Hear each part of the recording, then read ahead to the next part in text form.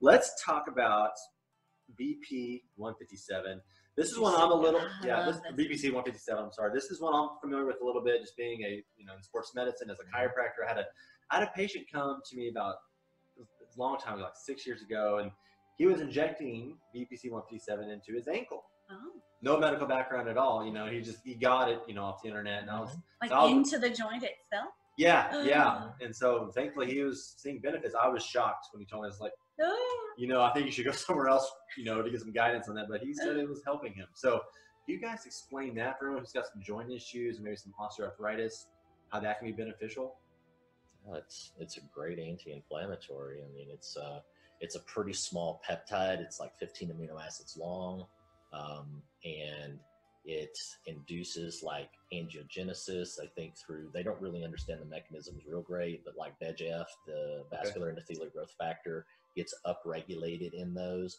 They've also shown in studies for any kind of uh, you know like tendon tear or muscle tear that the at least the animals, the rats that they did the tendon studies in with the BPC 157, you actually get tendon fibroblast outcropping from the severed ends of the tendons and given enough time and you know they actually have mended and then they did strength studies on them and those areas where it mended were just as strong if not stronger than the original tendon so it was wow. like that's impressive i mean it's like really and i've noticed me personally um, I, I, think I might have torn my rotator cuff. I'm not exactly sure. Right before this whole COVID nineteen thing oh, really? off, so and I, I don't know what I was doing. It was very innocuous, kind of whatever it was. Just one day I was like, oh my god and right. it hurt like hell and ever since then it's yeah, it could be from the uh, fluoroquinolones i took last year Rupture. for prostatitis oh okay yeah yeah so yeah. we already know that that's a increased risk so i may have torn a tendon or whatever but when i'm using bpc 157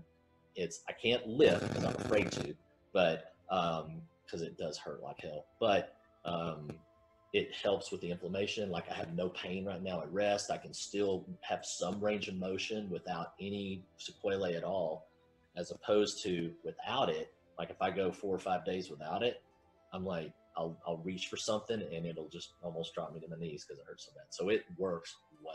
I mean, BPC 157 is awesome. It's been shown to work on tendon to bone regrowth, mm-hmm. healing tendons and ligaments.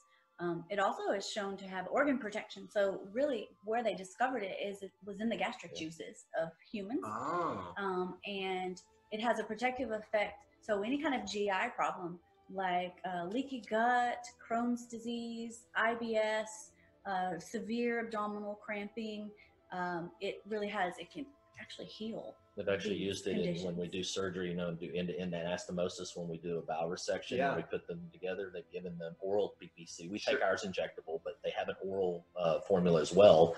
And what is it called? It's a body protective compound. Mm-hmm. Complex. Yeah, complex compound compound.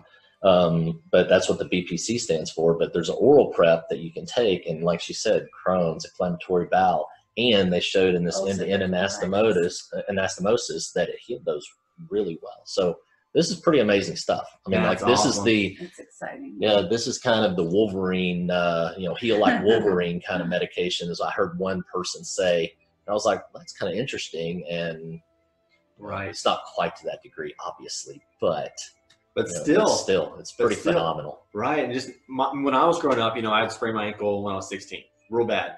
And since then, not kidding, two to 300 times later, I've sprained it. Yeah. And we know from studies that if you sprain your ankle once, you have about, I think it's 75% that you, 75% chance that you'll resprain it in that same subsequent year. Mm-hmm. So things like BPC 157 seem like they can help accelerate some of that healing time to these areas that are usually avascular maybe. So, I mean, I think this is kind of going to be one of those things that we're going to start to look at more and more. And, and is BPC 157 cheaper than, say, stem cells? Oh, yeah. Yes. A lot cheaper. I think everything's cheaper than stem cells. right. Stem cells are expensive. Right. So now with BPC 157, they, um, a lot of podcasts out there say that you have to inject it locally. And so when we first started using it, we did that locally. So, and we still inject it locally in his shoulder, but studies have shown that it gets intravascular anyway, so you don't necessarily have to do it locally. Mm-hmm. But as an acupuncturist, I'll take the BPC 157 and I'll inject it in specific points in the acupuncture channels related to. So I have 52 year old eyes and I love to read and my eyes get tired and fatigued. So there's a couple of spots in Chinese medicine that are related to increasing the vision. And so I will probably every other day or so I'll inject these spots with BPC 157, the acupuncture points. And I will notice the next day my eyes will be much less tired. I won't have as much fatigue.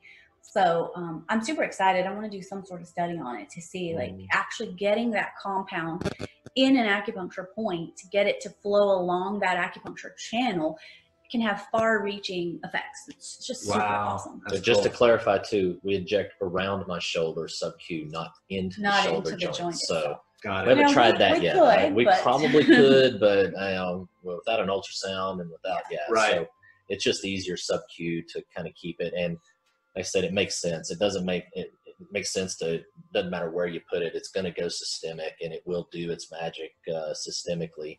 And I just, you know, the psychology of it is, well, if I put it close here, it'll get here faster, which is kind of silly. But you know, Right. Anyway. Right. That makes sense though, because some Yeah. areas You gotta put it don't have as much blood Got to to put it. area. So. Got to put it somewhere. So I was Right. injecting it into my Achilles um, after we do trail running, and my Yeah. Achilles were hurting. But then after reading the studies saying, no, you really don't have to put it exactly in the area, I was like, oh yeah, I think I'll stop injecting Sure, it into my right, because that hurt a little bit. That's awesome. And so, if I was a patient coming to you for BP, BPC 157, how often would I be doing it, and how? I mean, how quick are the results? Probably do it daily? Daily, until you Depends saw results. injury. So maybe Daily for- two months, maybe. daily for two months. Maybe. Okay, very if you cool. needed it that long. Most people don't.